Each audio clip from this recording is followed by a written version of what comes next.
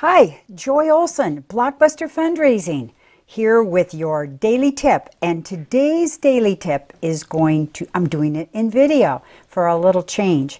And I thought we'd have some fun here today. And I got this idea from Jeff Brooks, who sent out a blog recently and said, asked the question Is your fundraising letter too much like a family Christmas letter? Well, you want to avoid the family holiday letter approach.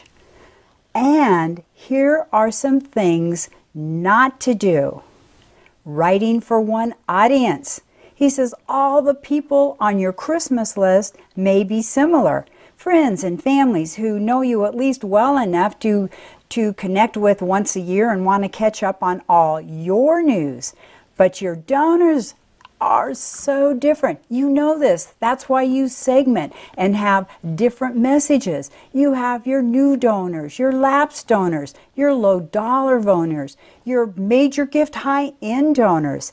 Each group has different needs and different levels of connection. So, to have a successful year end communication or year end email, you need to take that into consideration and treat them differently. You want to connect on an appropriate connection level. Ah, well, you know, in number two in the Christmas letter, you talk, talk, talk, blah, blah, blah about yourself and your family. Ooh, you don't want to do that in a donor email or a donor letter. Your relatives may think that all of your attainments and accomplishments are wonderful but your donors want to know what they can accomplish through you. Important point.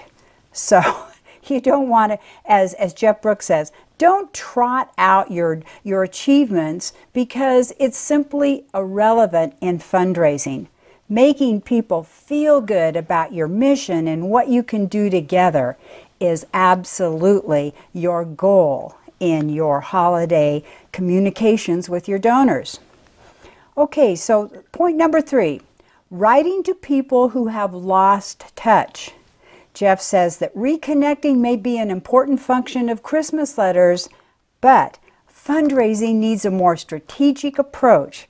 Reactivating lapsed donors is a different activity from cultivating your active donors. You know that. And you know, yesterday, in our daily tip yesterday, we talked about the possibilities and, and the, the best practices for right now in these last 17 days of 2016 fundraising, how to connect with those lapsed donors. So you might want to review that.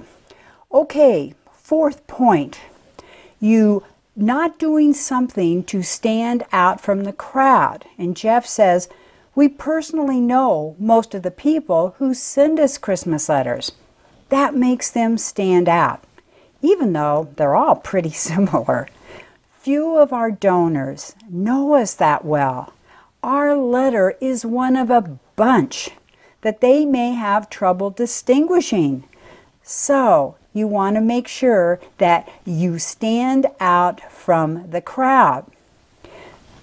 And the most important point of all is you want to make your year end communication heartfelt, personal, and thanking them, gratitude of all the things that you've accomplished together and what you can do together in the future to make the world a better place.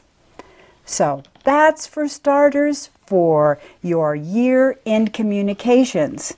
Next, let's look at a possibility of how to tweak your thank you letters to make them really perfect. All right, hold on. I'll be right back with that. Okay, let's talk about the magic of a great thank you. I just saw this recently in the last couple of days by Roger Craver, and he's at the Agitator, and always such great stuff. And so this came through the magic of a great thank you, and uh, he asked the question, uh, "What is your thank you uh, for your nonprofit like? Is it like this? Does it go like this?" Thank you for making your generous donation. What we do wouldn't be possible without people like you. You can learn more about the impact you are having at boringnonprofit.org. And that's that's what everyone else's thank you letter sounds like. So, he said that the very next day they got a thank you that they thought was really wonderful. It was from Adrian Salmon. I'll give you the link to this. And with Adrian's permission, he, Roger wrote about it. And here, it, it, I'll, I'll give you a little bit of it because you're going to love this. So it starts out here's the before laughter, uh, before letter. The before Dear Mr. Potter, on behalf of Hogwarts, Hogwarts School of Witchcraft and Wizardry, we would like to express our gratitude for yak yak yak. Okay, they changed it.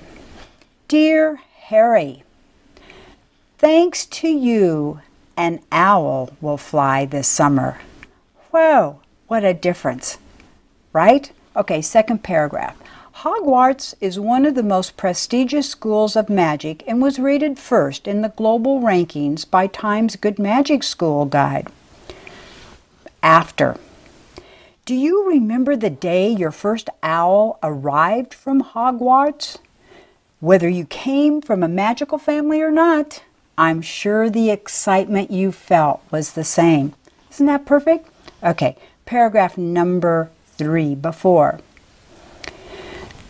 The Dumbledore Scholarship provides financial assistance to those students for whom a magical education would otherwise be out of the question. Blah, blah, blah. Here's how they change that. You have just given that feeling to a new student who will start at Hogwarts this autumn thanks to your gift. Thank you for ensuring, once again, that help at Hogwarts will always be given to those who ask for it. Yours in magic. Isn't that perfect? Well, I think i will put the link into this so you can see it, and I, hopefully it will help you give a little bit of magic to your year in thank you. Well, thanks for having been here today. I am Joy Olson of Blockbuster Fundraising with your daily tip. We don't have very many days left now to 2016 fundraising. Can you believe it? We started way back on September 22nd. It is now December 15th, and we only have 17 days left of fundraising. Whoa! So good luck. Happy fundraising. Stay healthy, stay happy and tune in again tomorrow for another super tip. We appreciate you being here. It's been fun, and now I am going to stop recording. Bye bye. Thanks.